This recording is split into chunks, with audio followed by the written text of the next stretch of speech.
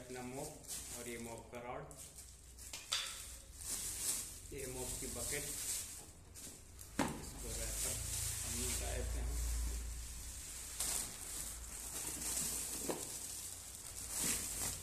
दोस्तों, ये फ्री मिला हुआ है इसके साथ. या फिर यूँ कहें तो एक्स्ट्रा बॉक्स पे फ्री ही लिखा था. इसको हम जल्दी से सेट कर लेंगे और एक हल्का सा डेमो आपको दिखा देंगे. बकेट की बात करें तो बकेट पीछे से देखिए, कुछ ऐसे है। और मजबूती की बात करें तो मेरे ख्याल से सेलो की है तो मजबूती में कोई डाउट नहीं होना चाहिए। एज यूजुअल मज़बूत है। अच्छा खासा स्पिन में कर रहा है आपको। ये आपका हैंड पानी भरने के बाद इसको ले जा सकते उठा के। अब हम इसका रॉड दिखा देते हैं। ये आपकी रॉड है। ये इसका एक्सटेंशन है बढ़ाने के लिए। ये अगर आप लोकल कंपनी में जाएँगे तो इसमें ऊपर डाउन करने के लिए रहेगा। ऊपर नीचे करने के लिए ऑन ऑफ़ और इसमें ये ऐसे घुमाने के लिए। अगर घुमा देंगे तो ये लॉक हो जाएगा। ऐसे कर देंगे तो ओपन हो जाएगा। फ़िलहाल हम इसे सेट कर लेते हैं इसके साथ। इसको सेट करना बहुत ही सिंपल है। सबसे पहले आपको इसको खोलना होगा। पहले इसको इसमें डालिए। फिर इसको आराम से इसके अंदर पूरा। फिर इसको ले जाइए और कस दीजिए।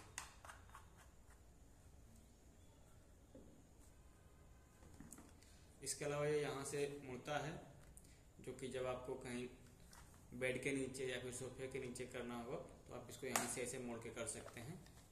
ऐसे चलेगा। अगर आपको खड़े खड़े करना है तो आप इसको ऐसे यूज़ कर सकते हैं। ऐसे करने के बाद आप इसको यहाँ से अभी ये ऑन है लॉक कर देंगे तो ये घूमेगा नहीं, ये ऑन है, ये घूमेगा अभी। हम इसको हल्का से आराम से ऑन करके ओपन करके एक ड्राई डेमो ले लेते हैं। ड्राई डेमो काफ़ी इसका फिट है।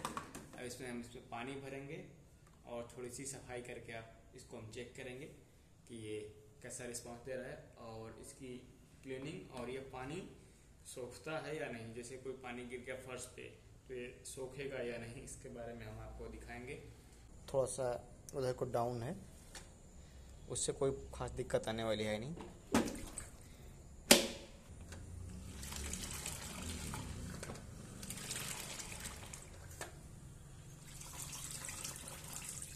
अब इसको ट्राई करके देखते हैं।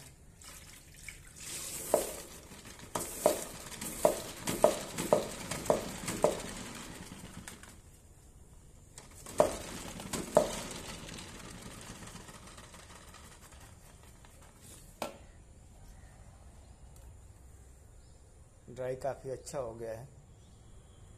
मैं कहूँ तो लगभग लगभग सेवेंटी परसेंट तक ये ड्राई हो गया। इसमें पानी ना के बराबर है। एक बार ज़रा फिर से कर लेते हैं इसको हम लोग ड्राई, और फिर उसके बाद सीढ़ी का पानी और बाउंड्री का पानी पोछ के देखेंगे इससे।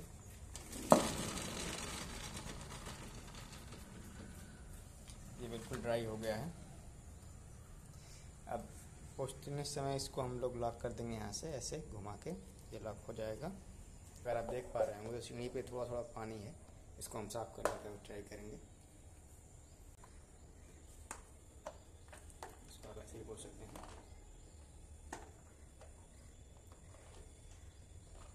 देख लीजिए कितना इजली चल रहा है। बहुत ही इसमें तभी तो नया है। इसमें केवल रॉड की खराबी आती है, केवल रॉड जाम हो जाता है रॉड घूमता नहीं है।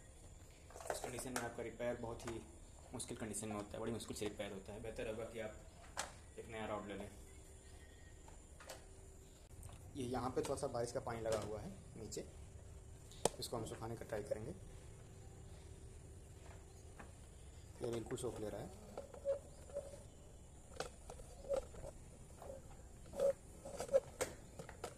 काफ़ी अच्छे तरीके से काम कर रहा है ये। मुझे नहीं लगता कि कोई शिकायत आने वाली है इसमें। हाँ शिकायत केवल एक आएगी, वो रॉड का, रॉड ख़राब हो जाता है, उसके लिए कोई बड़ी बात नहीं है, आप रिपेयर करा सकते हैं, लेकिन रिपेयर बहुत ही मुश्किल कंडीशन में होता है, या फिर ये कहें तो रिपेयर नहीं ही होता है। आप उसके लिए नया रॉड ले लें। भूल गया है इसका पानी निकालेंगे यहाँ से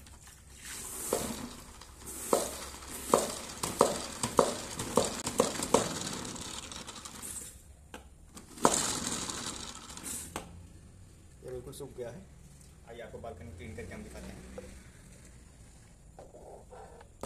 क्लीनिंग करने के लिए आपको थोड़ा सा इसको तिरछा करना पड़ेगा। ऐसे पैर से दबा के आप बड़े आराम से कर सकते हैं इसमें कोई बड़ी बात नहीं है। इसके बाद आप यहाँ से इसको लॉक कर दीजिए। और ये आपका मोड तैयार है पोछा के लिए।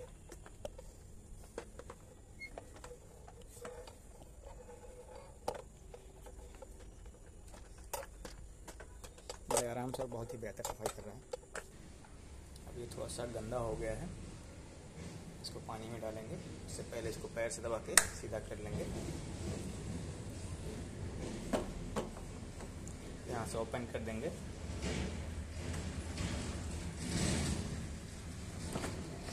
ये ध्यान रहे ये सेंटर में बैठना चाहिए। अगर सेंटर में मान लीजिए नहीं गया है, ऐसे नहीं जा रहा है तो नहीं रोटेट करेगा। सेंटर में जाएगा, तभी रोटेट करेगा इसको सुखा लेंगे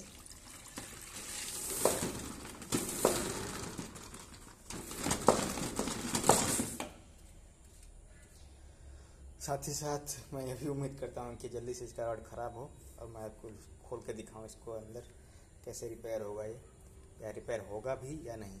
मैं आपको बता दूँ, बेहतर तरीके में सही से अगर देखा जाए तो 70 परसेंट तक ये रिपेयर नहीं होता है। नया रॉड ही लेना पड़ता है। लेकिन इस सेरो का है तो मैं उम्मीद करता हूँ थोड़ा बेहतर चलेगा। इसके अलावा अगर ये रॉड ख़राब होता है तो मैं बहुत जल्दी उसको लेकर आऊँगा। अगर ख़राब होगा तो अगर वीडियो नहीं आ रही तो समझिए कि रॉड चल रहा है। रॉड अभी तक ख़राब नहीं हुआ थैंक यू